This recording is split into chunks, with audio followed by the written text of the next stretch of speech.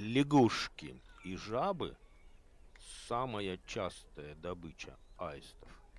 А все потому, что аисты – обитатели низменных лугов и заболоченных местностей.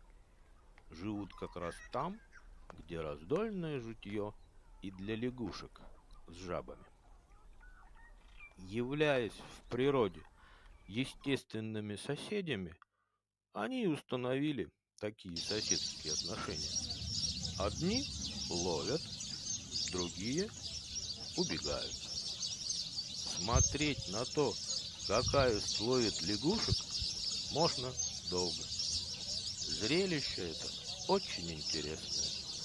Вот и мы посмотрим на этого любителя лягушачьих лапок на охоте.